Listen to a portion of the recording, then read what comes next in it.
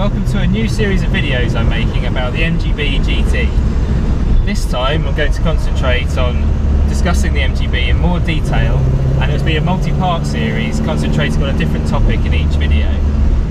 Um, I'm going to make a video about the engine and drivetrain, the suspension and brakes, the bodywork and the interior of the car um, but this first video is going to concentrate on the model history of the MGB.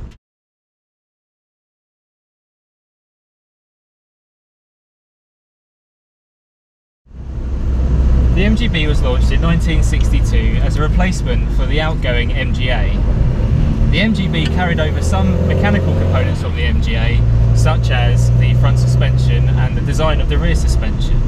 But what was different about the MGB and something that was praised for was, was its new unitary body design that uh, incorporated a stylish look as well as being uh, stiffer and stronger and lighter than the previous model. What was also carried over from the previous car was the B series engine, although it underwent significant changes to make it larger to 1.8 litres, and although it was more powerful, it was only marginally more performant than the MGA. This was in no doubt due to, in part due to the fact that the car was now wider by uh, a couple of inches, and which meant it had more frontal drag than the previous car. What was stark in contrast to the MGA though was inside the MGB. The MGB incorporated a lot of features which were really only seen on saloon cars at the time rather than sports cars such as wind up and down windows and um, door locks etc and press at the time praised the MGB for it being a much more modern place to be as well as being more comfortable.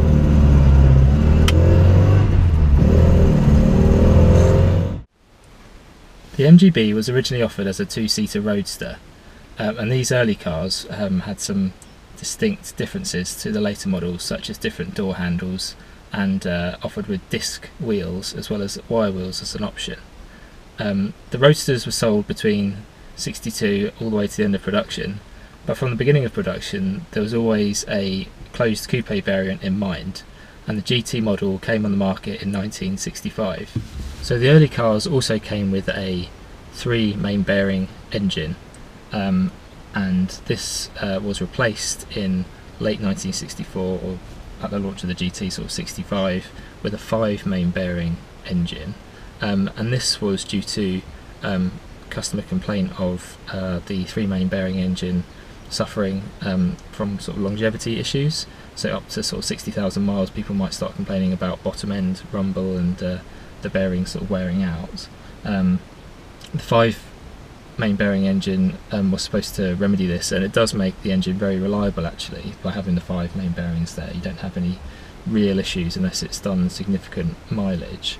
Um, but the three main bearing engine if it's looked after and not um, used uh, under sort of extreme circumstances uh, you can kind of get 120,000 miles out of them um, with you know good oil pressure still and it's not unheard of. It's just um, for people who wanted to use the car like a sports car, uh, you'd wear the engine out faster. And even though the three main bearing engine was uh, freer revving because of the less internal friction, um, the five main bearing engine was uh, better suited for sort of a, a, customer's car who they might want to abuse it occasionally and uh, take it for a sportier a drive um, rather than something that would say last a short period of time but be freer revving maybe like a race engine or something and be discarded.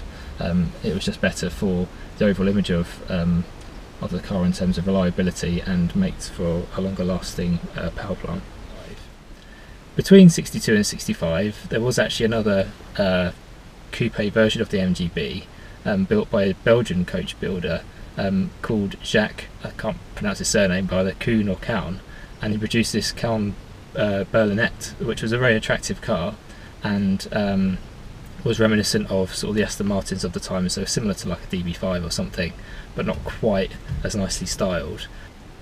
It was actually a Pininfarina design that um, was used for the uh, MGB GT, um, as you see today, um, and it's a very attractive car in my opinion.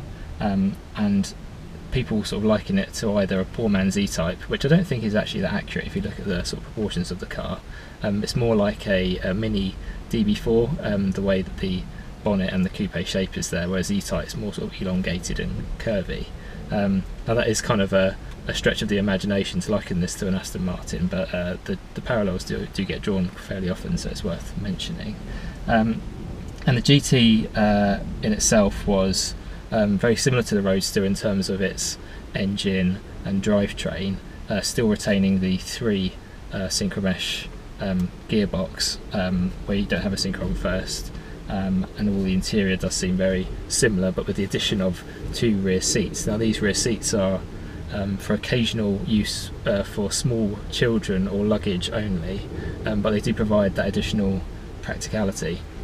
Another innovative feature for the GT was the tailgate. So rather than having a uh, closed boot like in the Roadster, it's actually a sort of lift hatchback that you have there, probably an early version of the sort of modern hatchback that you see in cars today.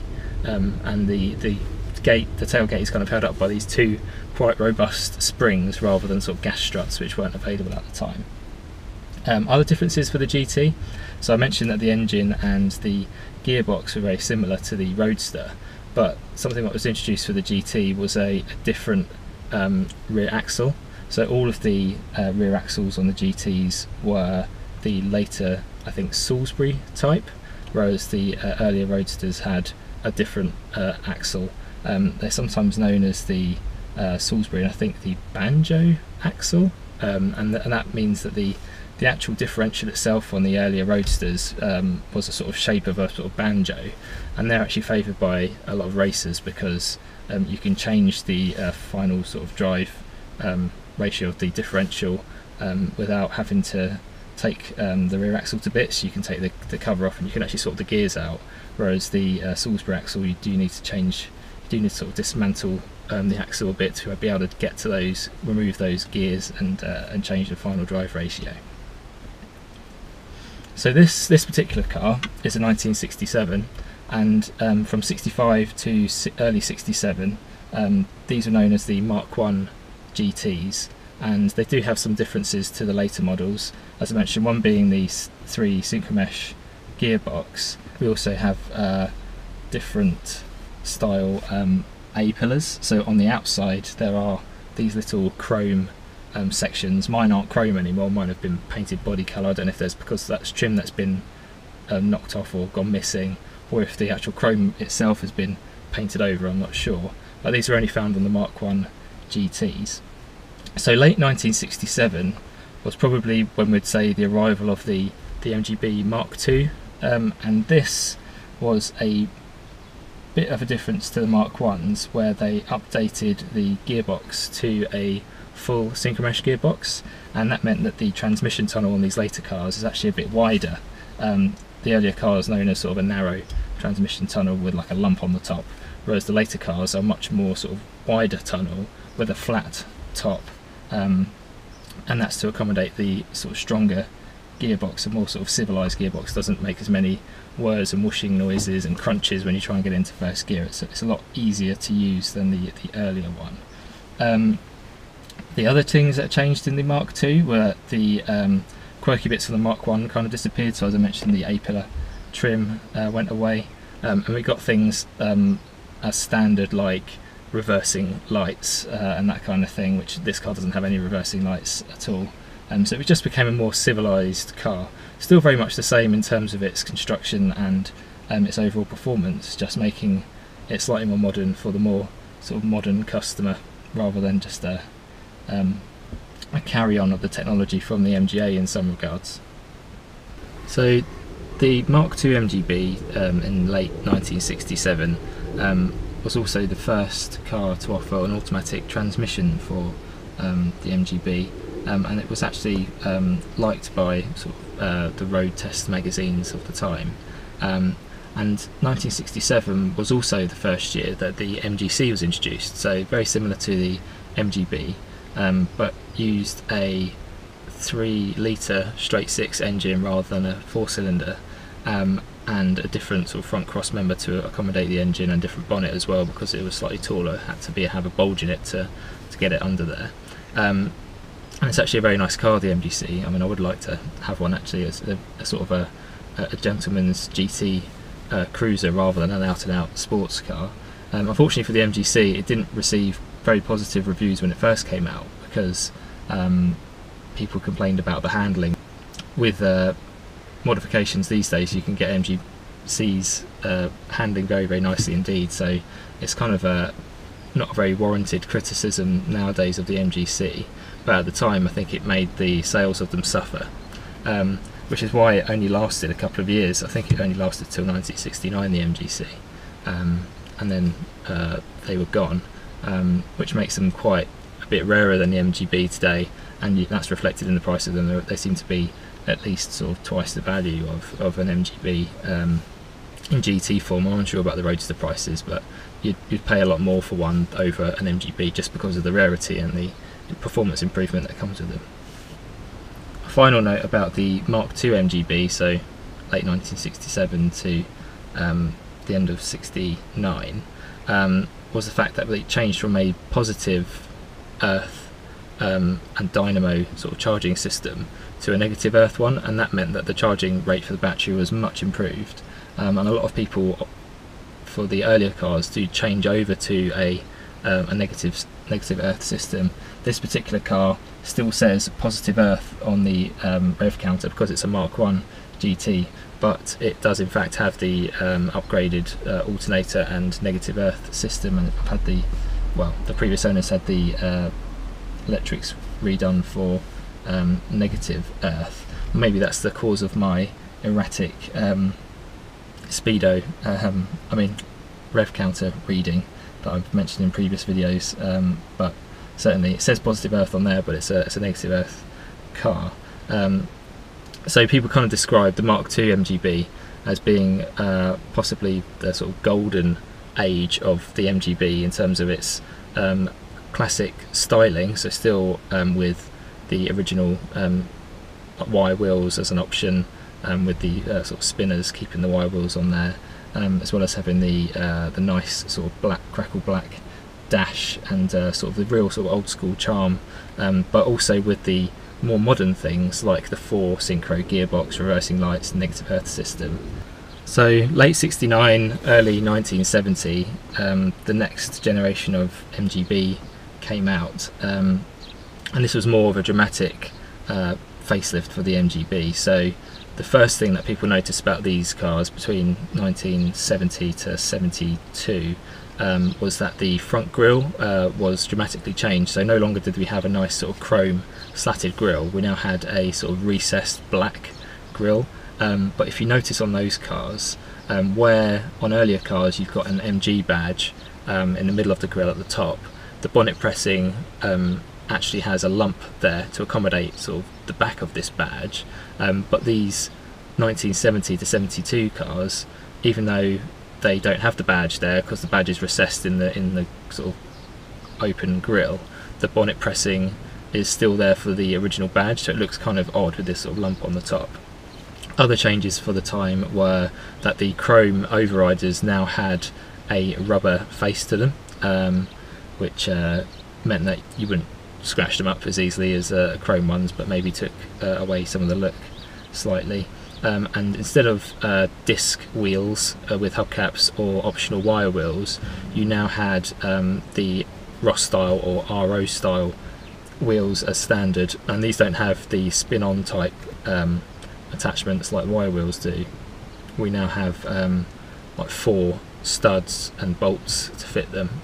Um, other changes, um, which kind of keeping with the times of the 70s, were that the leather seats now um, had gone and they're replaced by vinyl items, which is very uh, sort of on vogue for the 70s. Um, and also the seats uh, reclined, and I believe that's when the um, potentially when the headrests came as well. So it's a good safety feature there for the for the 1970 MGB. People did like the facelifted stuff at the time, for if they in terms of just buying the car, but purists did complain that the sort of traditional MG grill had disappeared. And certainly, if you look at those cars now, um, they're kind of a, a Marmite car. Some people love the fact that the grille's a bit more recessed, kind of like a gaping mouth sort of style, similar to, well, kind of stretch your imagination a bit, sort of like a like an E-type sort of gaping mouth or a, a Cobra or something like that, um, rather than just like an in-your-face sort of like chrome grille. People do tend to like it, but other people don't like it. So um, I think the value of those cars is probably a bit um, hit and miss. Um, I think obviously good examples will, will sort of stay um, uh, sort of quite high in the price range, but not as desirable as a sort of uh, a, a, Mark One or a Mark Two MGB. Um, but certainly because they still retain the chrome bumpers, albeit with the rubber-faced overriders, they still have the period charm that people look for in these cars rather than the later ones. Between 1970 and 1972, there was actually a sort of intermediate update to the MGB's interior. Um, so this was to incorporate a new uh, fascia and uh, face level ventilation, which is sorely missing from the earlier cars. I mean, in mine, I don't have any ventilation in here except for a little tiny flap for fresh air down here and a little bit of uh, uh, another little flap for a heater. And we've obviously got these um, quarter lights as well, um, but we don't have any sort of face level ventilation to cool you down, and it's quite um, hard to stay cool in here. I mean, I'm sitting in here on a, a June um, summer's day and I am actually baking. Um, I'm keeping the windows slightly shut because I don't want too much of outside noise coming in. Um, but if you're driving along, if you have the windows down, you get buffeted by the wind and everything, and face level ventilation is uh, something which would make that a lot more bearable. In um, October 1972, the MGB reverted back to a more traditional radiator grille, um, but didn't have the chrome slats that the earlier cars had. It now had a black honeycomb mesh um, this actually looks quite nice. It's uh, kind of combines old and new. Um, looks quite sporty. However, um, not everything uh, was sporty about this new variant of the MGB. Um, in most markets, it remained unchanged uh, power-wise. Um, but for North America, due to tightening emission regulations, the power had actually gone down to from 90 odd horsepower down to 70 odd horsepower, and they were on a single carburettor, I believe, and I don't know too much about it. This is a North American market, and I'm not too familiar with that. Um, but these cars had a single carburettor and uh, were pretty dismal in terms of performance. And a lot of the uh, American owners have actually upgraded to the standard for other market um, twin SUs. Um, and this was yeah mainly due to tightening emission regulation um, and lack of development probably by British Leyland to keep the MGB's performance current um, with the times and, and really uh, a shame in most respects because um, it would have been nice to have seen the MGB with a more modern power plant as it sort of grew into its adolescence um, and would have been uh, a, good car to sort of uh, keep um, in motorsport perhaps as well because um, what's really sort of missing from these these cars is that after the initial years of uh, the MGBs kind of competing at Le Mans and some of the um, other endurance races such as the Targa Florio and uh, the 12 Hours of Spa, um, from probably 1966 onwards, you don't really get MGBs in like mainstream motorsport, and that's probably just because it wasn't um, competitive anymore. So the sort of newer 911s and that kind of thing with similar sort of engines. So the earlier 911s, I think they had like two litre engines or something like that, uh, and they were just dominating everything. Um, so it would have been nice to have had an MG up there, sort of competing for for different titles and uh, sort of the accolades that go with motorsport, give the car some sort of uh, um, pedigree as such, but. Um, they just don't have it because they, they, people kind of laugh about MGBs about being the sports car for the pe person who wants to go slowly. And in fact, I think for the North American market, I don't know if it was between um, whether it was from 1972 onwards or whatever, but it's something like it was only the I think it was like the second slowest or third slowest car accelerating from 0 to 60 uh, available to buy or something like that. One was like a diesel um, estate, um, and I, don't even know what the 0 to 60 figures were for the for the North American market car, but um, I don't know if this is true either, but people sort of say that in the advert or specifications for the car it said 0 to 60 and rather than a time it just said yes which kind of gives you an indication of kind of how embarrassed people were about the, the performance of the MGB at the time. So in 1973 um, another variant of the MGB was uh, launched and this was the MGB GT V8 so only offered in um, GT form this new car featured a uh, aluminium blocked V8 um, which had a significant performance increase over the four cylinder model and barely weighed anymore being an aluminium block. Um, it was three and a half litres uh, and fitted uh, under the standard MGB's bonnet. Um, this was um, down in uh, no short part to a guy called Ken Costello who was um, doing MGB V8s before uh, this official launch of um, the official sort of MG V8 and he'd been doing these conversions for a number of years and helped in the development of them. Um, and, but this car was uh, significantly more expensive than, than the MGB um, and was a real sort of competitor in terms of performance, but not many were actually sold because of the higher price tag.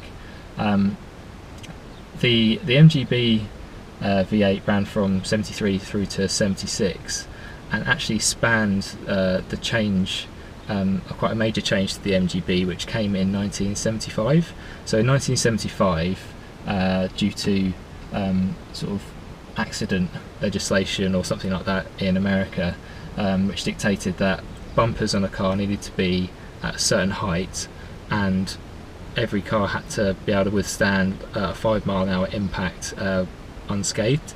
Um, obviously, with the chrome bumpers and uh, sort of headlights, which are right at the front of the car uh, and being quite low down, uh, a five mile an hour crash on a, an early MGB will mean that you'll have broken bumpers, broken lights, um, you know, maybe like broken bodywork or whatever.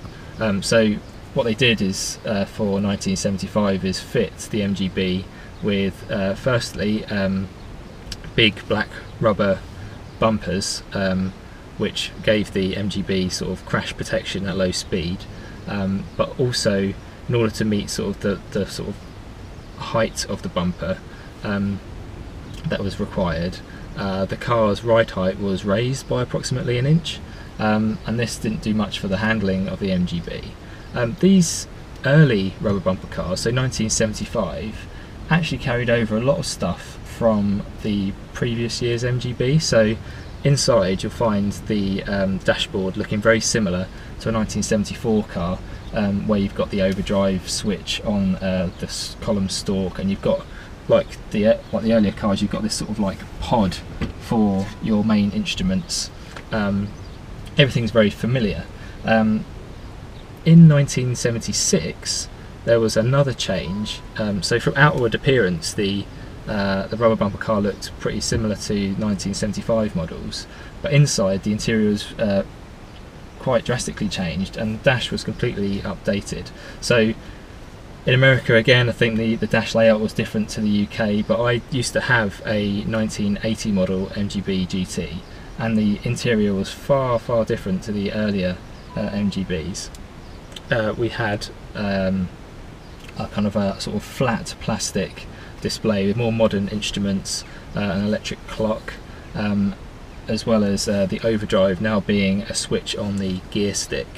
Um, also, these uh, sort of later road bumper cars, 1976 uh, onwards, uh, featured an engine bay which was almost identical, I think it might have been identical to the MGB GT V8. So if you're considering doing a V8 conversion to a car, be aware that a 1975 rubber bumper car won't have the same space in the engine bay as a 76 onwards rubber bumper car. Um, and in fact the 76 rubber bumper car is the ideal candidate for a V8 conversion because it has the um, the right size transmission tunnel. So if you remember the earlier cars have a narrow one so you can't get a like a beefy transmission in there. Um, but also has the bigger well, sort of wider engine bay um, as compared to like a 1975 or earlier car. So the, the V8 engine should go in a lot easier. Um, the other thing that changed for these later rubber bumper cars was that the the seats were different. So um, you have these sort of deck chair style uh, fabric seats.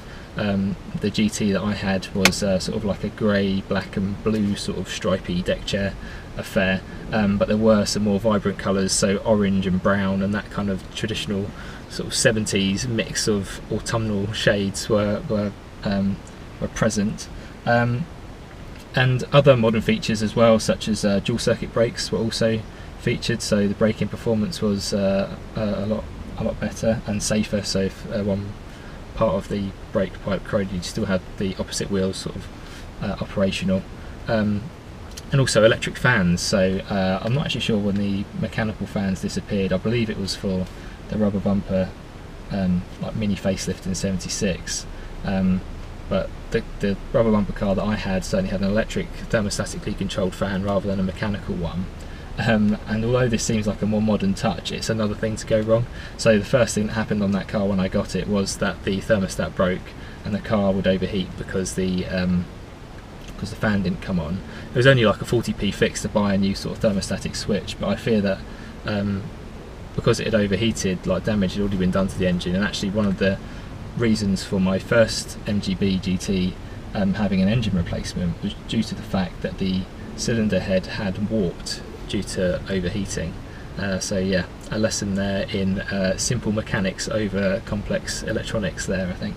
Um, so yeah, this uh, this rubber bumper model continued through to the end of production in um, uh, October 1980. There were some uh, limited editions right at the end of production, so for the um, UK market we got the LE. Uh, the LE Roadster was offered in like this nice uh, bronze colour with um, quite nice looking sort of Dunlop alloy wheels, and there was a uh, a GT model um, limited edition as well, which was a really nice car actually. I, I really like the limited edition um, MGB GT, even though it does have the rubber bumpers, yes, um, but it is finished in this nice pu metallic pewter colour and has a nice um, sort of decal down the side, uh, sort of a Union Jack with an MGB logo in there and uh, it also has I think a, um, a front like chin spoiler or splitter type thing sort of to make it look a bit more modern. I mean it was, it was too little too late really to sort of give the car like a mini sort of um, modern facelift by then and people had sort of moved on to hot hatches and things because the Golf GTI came out in the late 70s and was sort of revolutionary at moving people away from uh, what was perceived as an unreliable uh, low performance sports car such as this onto um, reliable, practical, and quick um, hatchbacks, um, which were sort of far better for, for everyday use and could carry the shopping and the children and everything, um, as well as be a fun weekend toy, um, all in one. Um, so that was kind of it. That was the end of the MGB uh, production-wise. But actually thinking about the MGB's legacy, it was uh, sort of Britain's most popular sports car. Loads of them were made. They were really popular worldwide, or especially in North America. Lots of them got sold there. I think it's something like a quarter of a million of them um, got sold, um, which is you know sort of astounding considering that um, it's a sort of you know sports car. Sports cars don't really sell that well um, compared to you know more mainstream cars. Um, and the legacy that's kind of been left behind is a real uh, strong um, sort of club level sort of following. So you've got uh, the MG Car Club, you've got the MG Owners Club, as well as sort of other organisations that operate. Um, spares are uh, really widely available. You can pretty much build uh, a, a, brand new MGB if you wanted to. You could get the body shell, a lot of the trim pieces you can still get. Some stuff is uh, no longer sold, so you'd have to sort of find um, uh, some way of getting to a breaker's yard or some sort of uh, you know uh, dismantler who can sell you the the parts that you need or start up a project car or whatever. Um, and actually, the MGB is really important um, for enthusiasts who want to get into classic cars um, because for a long, long time, less so now actually, as times have sort of moved on, but certainly when I was first looking to buy a classic car, um, the MGB is a lot of people's first classic sports car because it was affordable and the spares are there. It makes the transition from going from a like a, a, normal car to a classic car that much more easy because you can maintain these uh, easily and at relatively low cost as well as having a, a relatively low initial purchase price. Um, my rubber bumper MGB when I bought it back in 2004 I think or 2005 um, I bought that, and that was probably as near to like mint original condition as you could get. Um, there were like the tiniest things that were wrong with it. Like I said, the, the thermostat broken, and I did have trouble later with uh, that engine blowing up and having to get a new one. But everything else was super reliable. And uh, even though yes, it was a, a rubber bumper model, I I had a, a classic car, which and I think I paid two and a half thousand pounds for it, and I held on to it um, for a couple of years before I, I went off to do a, a ski season and sadly had to sell it. But I sold it for the same price that I bought it for. I probably should have held out and got more actually. I think the guy um, didn't even haggle the price. He was super pleased with what he got, and because the car the car had been um, it wasn't wax oiled, it was uh, Z or Ziebarted, um, similar sort of thing from new. The condition of the original panels was uh, really really good, and the interior was was pretty much unmarked. Um, I didn't really know what I had, I guess, at the time. Um, um, but yeah, so uh, super easy to get hold of them then. I mean, less so now because they are a bit more sought after, especially the chrome bumper ones. So the prices have gone up a bit in line with every other classic that's out there. Um, and I think as people are um, sort of generations are moving on, people are less interested in 60s and 70s sports cars. They're more interested in uh, what they grew up with on the telly. So potentially sort of your 80s um, hot hatches or supercars and even 90s stuff uh, and JDM type um, legends I guess people are starting to get into those as their sort of classics. Um, whereas these are, are, becoming rarer and um, still highly sort of sought after but um, not with the younger generation. Um, but still I love mine. I'm going to hold on to this as long as I can. This is my this is my uh, my project my pride and joy. I don't think people always say this, but I don't think I'll ever sell it if I don't have to. Um, and yeah, it's uh, it's almost part of the family, I guess. Um, so yeah, that's it as a sort of model history and a bit of an insight into um, my sort of history of the MG. I mean, I guess the other thing I didn't mention was I did actually have another MGB GT 1975 model, which was a complete rust bucket that I bought off of eBay, and it was kind of a, a rat rod kind of look that I had going on there for a while.